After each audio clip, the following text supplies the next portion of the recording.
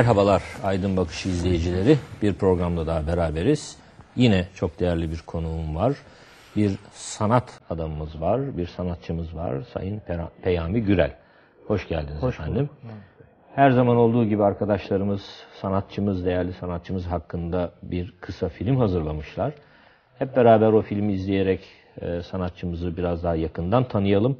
Ardından da sorularımızla sohbetimize geçelim.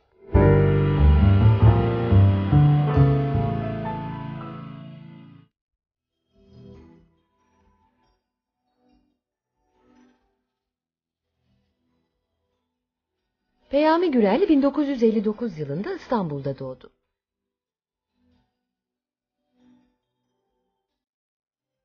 İlk ve orta öğreniminin ardından İstanbul Üniversitesi İktisat Fakültesi'nde öğrenim gördü. Yetişkinlik çağlarından itibaren sanat tarihine, felsefeye ve toplumsal bilimlere ilgi duyan Gürel, Almanya, İsviçre ve Avusturya'daki bazı üniversitelerde sanat ve felsefe üzerine araştırmalar yaptı.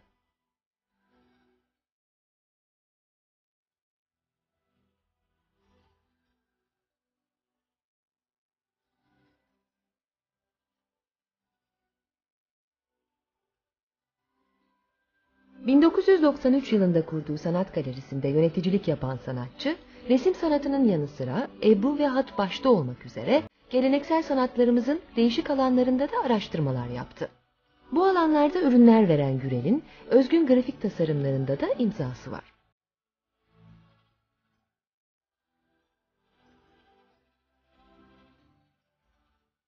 Pek çok özel ve resmi kurumda sanat yönetmenliği yapmış olan Peyami Gürel, sanat danışmanlığı görevini sürdürüyor.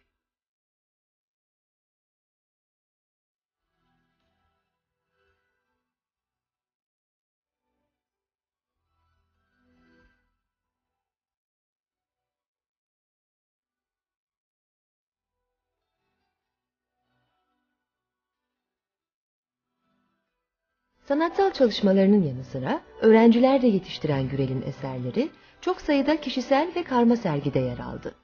Peyami Gürel'in sanat ve estetik üzerine yayınlanmış çok sayıda makalesi de var. Dalgalara dokunduk mu o hani dalgaların cıvıltısını? Köpükleri filan ha? Biraz daha. Birazcık daha mı versek köpük?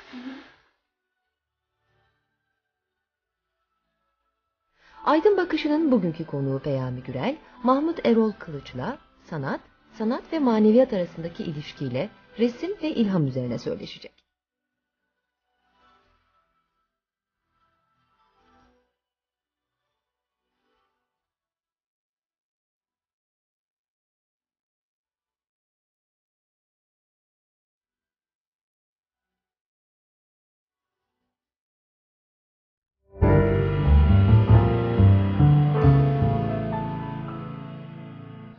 Peyami Bey, siz bazı soyut düşünceleri tuvale veya evru teknesinden yansıtmaya çalışan bir sanatçısınız. Biz sizin bazı eserlerinizi yakından inceleme lütfuna eren nadir kişilerden birisi olarak konuşuyorum. Ee, sanatla e, metafizik arasında, sanatla maneviyat arasında e, nasıl bir irtibat kurabiliyoruz? Nasıl yansıtma yapabiliyoruz? Sanat tarihçileri genellikle sanatın hatta resmin kökenlerinde bir felsefe, bir derinde yatan maneviyat özlemi e, ve onun imitasyonu, e, yansıtması, yansıtma esaslı olduğunu söylerler. Siz bil fiil bu sanatın içinde olan birisi olarak, bir ressam olarak neler söylemek istersiniz? Aslında Mahmut Bey plastik sanatlar dediğimiz alanla diğer sanat dalları arasında bazı farklılıklar var. Örneğin musiki. Plastik sanatlarda böyle bir yaklaşım cari olabilir. Bir yansıtma. Çünkü görselden, objelerden, nesnelerden, nesnelerin hareketlerinden kaynaklanan bir dal ve dallar dizili. Ancak e, o formların da sonuçta bir yere aidiyeti, bir yere izafe edilmişliği olduğu için e, tabiatı itibariyle metafizik aslında. Şöyle tabiatı itibariyle metafizik, bugün üzerinde estetik diye tartıştığımız, estetik diye konuştuğumuz alan aslında duyusal alanla ilgili. Kelimenin kökü bu, anesteziden geliyor. Yani estetik, duyu, anestezi dediğimiz tıpta kullanılan tabiriyle duyuların yok edilmesi zaten. Estetik kelimesi bile o kökten geliyor. Dolayısıyla duyuların cari olduğu bir alanda neyi ne kadar fizikleştireceksiniz? Neyi ne kadar bir takım çerçeveler, geometrik alanlarla sadece açıklayabileceksiniz? Bu mümkün değil. Artı insanın bizatihi var olduğu ve insanla birlikte ortaya çıkan bir üretimi metafizikten bağımsızlaştırmanız abesle iştigal. Ses dahil, söz dahil, renk dahil hepsi metafizikle birebir alakalı. Çok basit bir örnek. Renk diye algıladığımız aslında yok. Sarı, kırmızı, mavi, yeşil işte bir sürü renk gör, milyonlarca renk gör. Esası itibariyle yoklar. Ne olduğu takdirde varlar? Varlar. Işık olduğu takdirde varlar. Işık nesnelere çarpıyor ve nesnelerdeki o şimdi devreye giriyor fizik. Kimyasal ve fiziksel pozisyonuna göre o çarpan ışığın yansımasını biz sarı, kırmızı, mavi, yeşil vesaire vesaire vesaire vesaire ila ahiri diye algılıyoruz. Dolayısıyla renk diye şu anda bile şu ortamda gördüğümüz bir sürü renk bizatihi esası itibariyle yoklar. Renklerin de aslında tek bir renkten çıktığı, tek bir rengin açılımı olduğunu söyler. Işıkla varlar. Işıkla varlar. O halde e, sanatçı öyle diyelim esas itibariyle plastik sanatçı tarihi boyunca da böyle aslında ışıkla uğraşır. Işıkla ilişki kurar. Biraz da ışığın peşindedir. Bunu en somut yansıma olarak algıladığımız mağara resimlerinden tutun da Rönesans'a, Rönesans'tan tutun da postmodern dönemlere ne anlatıyorsanız, ne söylüyorsanız, ne çiziyorsanız hepsi ışıkla olan bağı itibariyle var olan şeyler. E o halde bir ressam, bir sanatçı ışığın peşinde demektir. Işığın peşinde olan adam metafiziğin peşindedir. E, metafiziğin peşinde olan adam ya da kişi sanatçı hüviyeti eğer kendisine giydiriliyorsa e, zaten o seyrin ve o seferin içine girmiş demektir.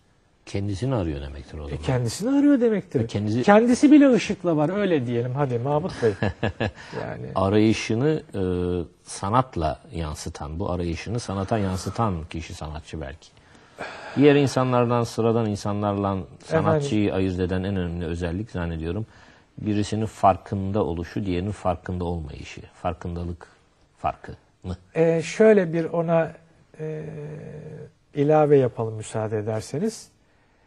E, kendisine fark ettirilmiş olanı, fark ettirilmemiş olanı. Çünkü e, biz ne kadar bizatihi kendi irademiz ve kendi gayretimizle bir şeyleri üretmeye, yapmaya, neşelendirmeye, çizmeye, aramaya gayret ediyorsak edelim, aslında o yollar, o dehlizler, o kanallar, o tüneller size bir merak arzusu ve isteği verilmiş ise aranandır. Evet. Siz o zaman aramaya başlıyorsunuz. E o aramada en azından ben, başkalarını bilemem, ben o arama zevkinin ve keyfinin verilmiş olmasını bir lütuf ve bir hediye olarak algılarım. Bu sadece benim için değil bence. Kendimi yine tenzih ederim. Bu dünyaya tarih boyunca ciddi sanat eserleri ortaya koyma vesilesi kılınmış her ne kadar isim var ise kendisiyle bu hediye verilenlerdir zaten onlar. Evet, bir vergiyle. Evet kesinlikle. Bir e, ressam olarak öğrenmek istediğim bir şey vardı. Siz bir e, ressam olduğunuz için öğrenmek istiyorum. Mesela bir şair şiir yazacağı zaman e, bu şiiri her sabah kalktığında elime kağıt kalem alayım da otomatik şiirlerimi yazayım diyerek başlamaz. Bazen 3 ay, 5 ay, 1 yıl hiç şiir yazmadığı olur bir şairin. Bazen birden e, ona ilham diyelim. E, birden eline kağıt kalem alır. Onun ne zaman nerede geleceği belli olmaz. E, birden yazar ve o şiirini tamamlar. Resimde de acaba sizde nasıl oluyor? Yani siz tuvalin karşısına geçerek ilk fırçayı vurduktan sonra mı yavaş yavaş ne yapacağınız belirliyor? Yoksa önceden size bir ilham geliyor, bir şeyi çizmeniz ve hemen onun üzerine elinize fırçayı mı alıyorsunuz? Mahmut Bey, değerli izleyicilerimiz buna katılırlar, katılmazlar. Hoşlarına gider gitmez. Bırakın ilhamı. Ben daha bir en azından kendim için bir daha ötesini söyleyeyim. Vakti zamanında bir tablo üzerinde uğraşıyorum. Bakın. Yani uğraşıyorum. Hani gayret ediyorum. Hatta mücadele ediyorum. Ki bende çok vaki değildir bu. Mücadele ediyorum, ediyorum. Ya olmuyor. E olmuyor tablo. İstediğimiz gibi yürümüyor. Sonra bir sabah e, eşim dedi ki e, bir rüya gördüm dedi. Hayır dedi. Bıraksın, uğraşmasın. Biz yaptıracağız demişler rüyasında. Ha dedim tamam. Oh aman rahatladım kaldırıyorum bunu bir kenara. Şimdi. Aradan e, yaklaşık 6 sene filan geçti. Atölyede bir büyük böyle parça. Önce zeminleri hazırlarım ben. Öyle onlar bir demlenir. Sonra girerim. Bir böyle parça zemini hazırlanmış duruyor. Atölyeye girdim. Şairden bahsettiniz. Hiç ama aklımda da değil o. Girdim. Ona baktım. Aldım. Şövaleye koydum. Bir saat. Yaklaşık bir saat. Bir saat içinde o altı sene önce niyetlendiğim ve mücadele ettiğim eser bir saatte çıktı. Bir saat. Çıktı ve dedim ki Tamam bu. yani yaptırılma böyle oluyor demek ki. Buradan evet her bir sanatçının yoğurt işi farklı. Her bir sanatçının çalışma tarzı da farklı muhtemelen. Ama şurası bir gerçek. Siz evet bir mesai harcayacaksınız, uğraşacaksınız ama yaptırılmak istenenle siz arasında bir tekabüliyet, üst üste geliş gerçekleştiği anda eser sizden çıkıyor zaten. Evet. Ve bu hep de böyle oluyor. Buna ister şu tarafından bakın, ister bu tarafından bakın. İster çok çalışarak tuvalin arkasından bakın ya da önünden bakın, ister sağından ya da solundan bakın. Sonuçta gerçekleşen hadise bir sanatçıya sanatçı olarak murad edilmiş kişiye, tahsis edilmiş kişiye bir şeyler yürütülüyor, ortaya çıkartılıyor. Akıllı kişi bunun keyfini çıkaran. Aklında biraz sıkıntısı olan kişi bunu kendisinden bilendir. Kendisinden bilendir. Kendinizden bilmezseniz tadını çıkartırsınız, zevk sahibi olursunuz. Kendinizden debeleşip durursunuz. Ya. Bu anlat Sanat zaten yapılıyor bir tarafa. Yapılıyor. Aracılık ediyor muyuz? Etme ehliyetini ve zevkini tada, tattırıyorlar mı bize? Tattırıyorlar. E bitti. Bu anlattığınız bana e, attığın zaman sen atmadan atan oydu e, Kur'an ayetinden yola çıkarak e, o büyük sanatkarın bir tür e, işinin alem alemin kendisi kozmosun kendisi bir tuval bir e, tablo büyük sanatkarın tablosu demek ki bir ressam bir sanatkar da bir bakıma e, ilahi bir e, yansıtma yapıyor. Nacizane ben tamamıyla böyle olduğu kanaatindeyim. Hatta bir anımı daha müsaade ederseniz Buyurun. paylaşayım. Ressamım ya, hani renklerle uğraşıyorum ya filan.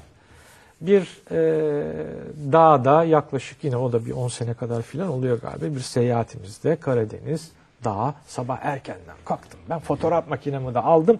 Gün doğumunu çekeceğim. Böyle güzel de bir yer buldum. Önüm hakikaten bir vadi. Karşıda engin dağlar, silüet. Bekliyorum. Güzel de bir köşe buldum. Pozisyonumu aldım. Gün doğacak da ben çekmeye başlayacağım. Ne mümkün. Ne mümkün. Işık gelmeye başladı. Şimdi gün doğuyor. Saniye saniye renkler değişiyor. Griler, arkasından magentalar, pembeler, hafif sarılar. Ben böyle kaldım resmen. Yani elim ayağım tutuldu ve kaldım. Sanki dedim bana şunu söylüyorlar. Hani ey Beyami sen hani ressamsın ya şimdi seyret bak ressamı. Seyret bak renkleri. Seyret bak grileri. Gri çok zor bir renktir mesela ressam için. Ama öyle ki o griler yerli yerinde. Milim, milim problem yok. Ve sürekli hareket halinde. Hani siz en fazla bir karesini yapabilirsiniz ressam olarak onun. An be an üst üste saniye saniye kareler değişiyor, renkler değişiyor ama hiçbir kusur yok. Hepsi de muhteşem zevk verici. Dedim bir dakika. Ne ressamı ya? Ya ne ressamı ya? Ne fotoğrafı? Neyi çekiyorsun? Yani sana seyrettiren seyrettiriyor. Ha bu bir ders. Bu dersle tuvalinizin başına oturursanız hakikaten o tuval size gülümser. Ama bu dersi almadan onun başına oturursanız Sıkıntılı olur. hezeyan olur. Evet. Sıkıntı olur. Bu anlattıklarınız bana e, özellikle son zamanlarda birçok ressamımızın hem yerli hem yabancı birçok ressamın spiritüel konulara, bizim yerli e, ressamlarımızın tasavvuf konusuna meylettiğini görmekteyiz. Bir açılım adeta olmakta. E, sizin de resimlerinizde tasavvufi temalar e, okumaktayız. E, nedir tasavvufla resim sanatını e, bir araya getiren? May aslında şöyle müsaade ederseniz onu düzeltme değil de şöyle yaklaşalım. Tasavvufa meylettilmiyor aslında. Ee, kabuk kalkıyor. Bir bir bir uzaklaşma tercih edilen bir uzaklaşma. Daha doğrusu hani hani afacan ve yaramaz çocukların yeni bir şeyler deneme isteği vardır ya. Ben hani bir sanatçı olarak bu gözlen göreyim istiyorum. İşin siyasi, sosyal, ekonomik boyutlarını bir kenara bırakalım. E hani afacan çocuklar bir şeyler denemek ister, yeni bir şeyler yapmak ister, ateşe de dokunmak ister. De, de, güzel tabii ki deneyeceğiz, denenecek, denenecek ama ama ama öz, esas istek, esas duruş yeri ondan zaten ona doğru yanaşılmaz. O zaten vardı. O hep var olacak. Bütün insanlık için var olacak. Ve o afacan çocukların sağa sola gidişleri ve bir şeyleri denemelerinin ardından gelinecek yerler yine orası.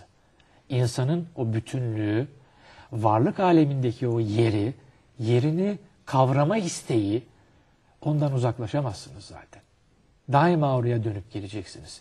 Nereye giderseniz gidin. Evet. Oradan uzaklaşamayacak. Ve sezilen ve fark edilen o farklılaşma hani oraya doğru bir dönüş var. Evet. Bir şeyleri denedi insanoğlu. Bir yerlere daha ulaşayım. Bakayım bir de bunun da tadına bakayım dedi. Evet.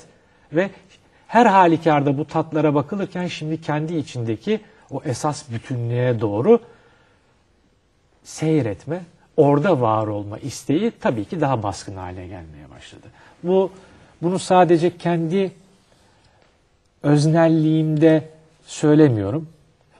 Buyurduğunuz gibi diğer sanatçılarda da bu hasreten dikkat çekmeye başladı. Ama gerçekten sanatçı olan, gerçekten sanatçı olanlar zaten bunun farkındadırlar. Hiçbir zaman hiçbiri esası itibariyle malın öyle tabirin mazur görsünler. Malın kendisinden olmadığını hisseder, farkındadır. Tabii ki, tabii ki. Bunu Kandinsky'de özellikle çok e, bariz bir şekilde görmekteyiz meşhur Rus ressamın.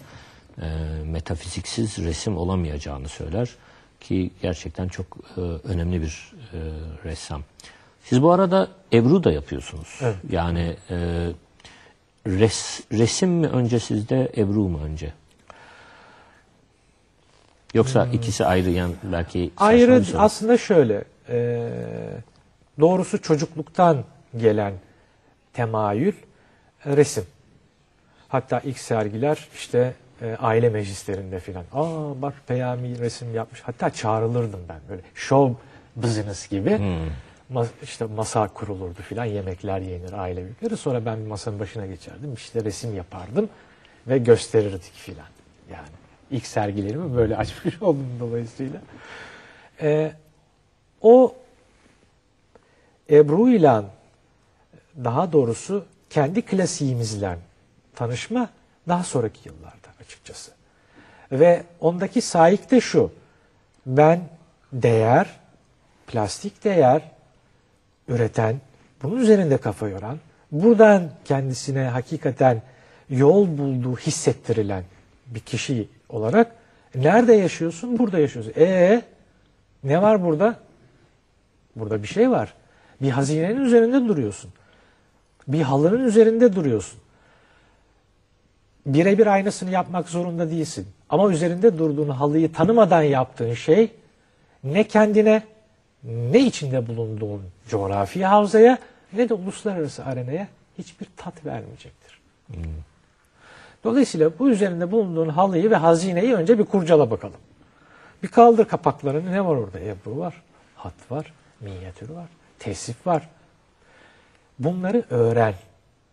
Bunları anla. Nesini anla? Sadece yapılışını değil, anlamını fark et. Geliş damarlarını hisset. Bunları bir kendine bir enjekte et. Den sonra tuvalin üzerinde oynamana devam et. Zaten bu kaynaşmalar, bu birleşmeler, bu hissedişler olmasa siz sırtınızı binlerce yıllık bir insanoğlu geleneğine yaslayamazsınız. Böyle bir yaslama imkanınız yok ise bırakın çok önemli renk hareketlerini yapmayı. Bir yere bir nokta dahi koyamazsınız. Evet. Onun için o nokta deyip geçmeyin. Binlerce yıllık insanoğlu tarihinin birikimidir bir nokta. Büyük ustalardan biri hatta der. Ne resmi? Ben daha zemin yapmasını öğreniyorum der. Dolayısıyla siz bir yerlere sinecek, onun enerjisini, onun birikimini alacaksınız. Bu hatta ve hatta sadece Ebru, Hat, Tesip gibi kendi klasiğinizle de sınırlı olmamak zorunda.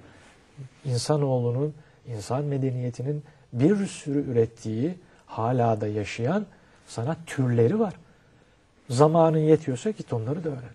Evet.